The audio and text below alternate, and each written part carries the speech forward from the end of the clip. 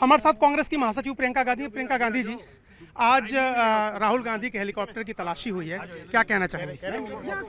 ये तो हमेशा होती रहती है। चुनाव में होता है ये। करते हैं तलाशी। हिमाचल में भी हमारे हमारे साथ किया था। करते हैं। मैम एक छोटा चुनाव आयोग करता है। हाँ। पता नहीं मोदी जी का करते हैं कि नहीं लेकिन दूसरों का तो करते एक छोटा सवाल है कि मैम विपक्ष की तरफ़ से आप एक ऐसी नेता हैं जो प्रधानमंत्री जो भी भाषण देते हैं एक एक इशू पर इशू बेस्ड आप रिबटल दे रही हैं। तो जिस तरह से उन्होंने मीट मछली की बात किया जिस तरह से वो कह रहे हैं चार सौ पार है विपक्ष लड़ाई में नहीं उस पर क्या कहेंगे मैंने कहा अपने भाषण में जी। कि ये चुनाव मीट मछली का चुनाव नहीं है ये चुनाव लोगों की ज़रूरतों का चुनाव है। महँगाई हद से ज़्यादा बढ़ चुकी है बेरोजगारी हद से ज़्यादा बढ़ चुकी है इसके बारे में क्या जवाब है इनका? जब ये जवाब दे नहीं पा रहे हैं कुछ किया नहीं है इन चीज़ों के बारे में तभी तो ये बातें उठ रही हैं। तीसरी बार वो कह रहे हैं कि आप लोग भी इन्हीं को उछालते हो? नहीं मैम इसलिए मैं आपसे बात हूँ कह रहे हैं तीसरी बार भी उन्हीं की सरकार बन रही है। कौन कह रहा है? प्रधानमंत्री जी कह रहे हैं। पूछिए जनता क्या कहती है?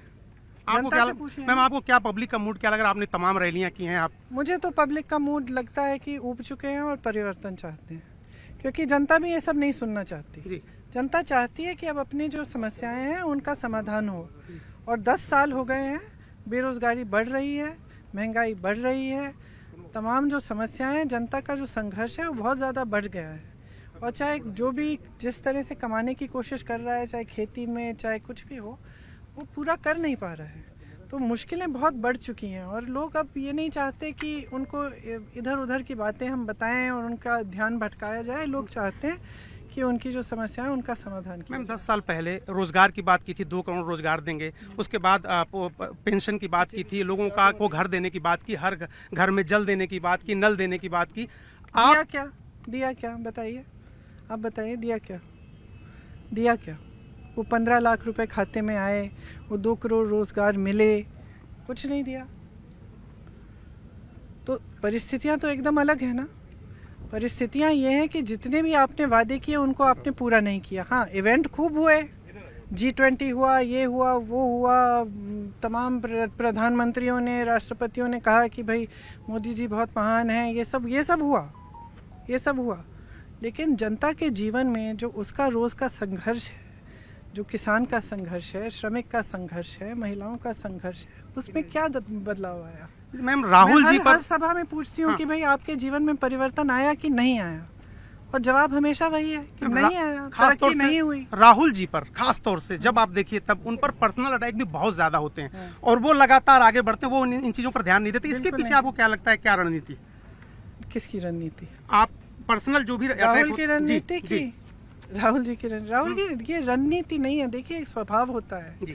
कुछ इंसान अपना ध्यान जो है अपने काम पे रखते हैं और कुछ बातों पे रखते हैं कुछ दिखावे पे रखते हैं।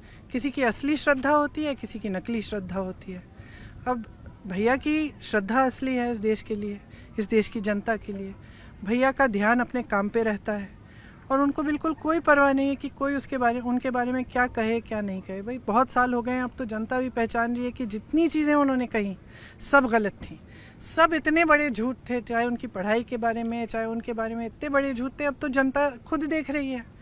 तो ये चीज़ें जो है ना, ये समय के साथ सब सच्चाई आगे आ जाती है। यही हमारे धर्म की प्र- परंपरा है, हमारे देश की परंपरा है, हमारी पुरानी सामाजिक परंपरा है कि जो सत्य है उसी का जीत होता है। मेरा आखिरी सवाल में पूरे कांग्रेस के लोग भी और देश के लोग जानना चाहते हैं अमेठी रायबरेली से चुनाव लड़ेंगे क्या आप प्लीज़ बस यहीं पे यहीं पे यहीं पे सर थैंक यू तो प्रियंका गांधी जी थी कह रही थी कि प्रधानमंत्री ने जितने भी वादे किए हैं अब तक उनमें से कोई वादा पूरा नहीं किया और ये देश की जनता, आप जान गई राहुल गांधी पर जो पर्सनल अटैक होते हैं, उसको लेकर के भी प्रियंका गांधी ने ये बात कही है कि राहुल गांधी पर जितने भी हमले होते हैं, वो उसका जवाब नहीं देते क्योंकि वो काम में भरोसा रखते हैं, प्रचार में भरोसा नहीं रखते। तो ये अलवर में दौसा में प्रियंका गांधी ने न्यूज़ एटीन इंडिया से एक्सक्लूसिव बातचीत की है, उसमें तमाम मुद्दों पर बोला है और इलेक्शन कमीशन ने जिस तरह से राहुल गांधी के हेलीकॉप्टर की तलाशी ली है, उस पर भी उनका कहना था कि ये जो तलाशी हुई है, ये पहली बार नहीं हुई है और क्या प्रधानमंत्री की भी तलाशी होती है।